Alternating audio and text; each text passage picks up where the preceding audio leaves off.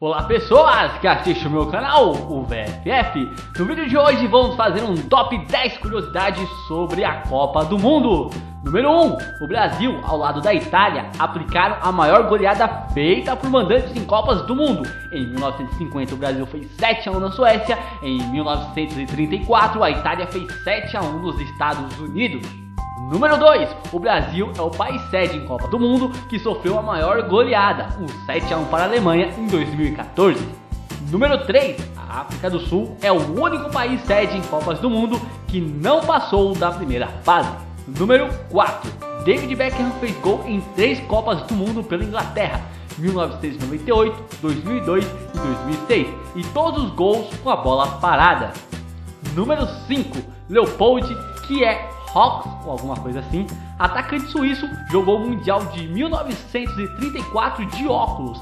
Não tenho certeza se ele é o único a fazer essa proeza, mas se alguém souber de outro, comente aí.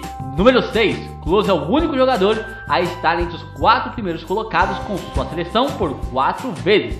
A Alemanha foi vice em 2002, terceira em 2006 e 2010 e campeã em 2014, e Klose sempre esteve lá. Número 7. Klose é o jogador que mais venceu partidas em Copas do Mundo. Das 24 partidas que disputou, Klose venceu 17. Número 8. Na Copa de 1982, a seleção do Kuwait. é, pessoas, acredite, o Kuwait já participou de uma Copa do Mundo. E mais, eles tinham o costume de a cada partida levar um camelo pro estádio. O que não adiantou muito, pois foram eliminados ainda na primeira fase.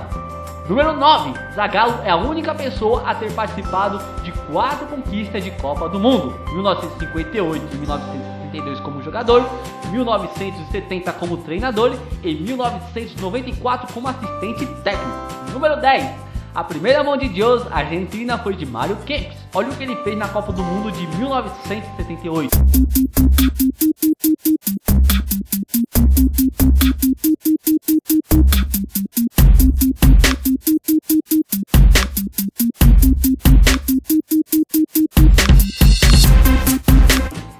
Não foi expulso, o goleiro argentino ainda defendeu o pênalti e Kempis, depois desse ocorrido, ainda fez o segundo gol da Argentina na vitória de 2 a 0 sobre a Polônia. E então é isso pessoas, eu vou ficando por aqui, falou pra vocês, em breve uma parte 2 desse vídeo.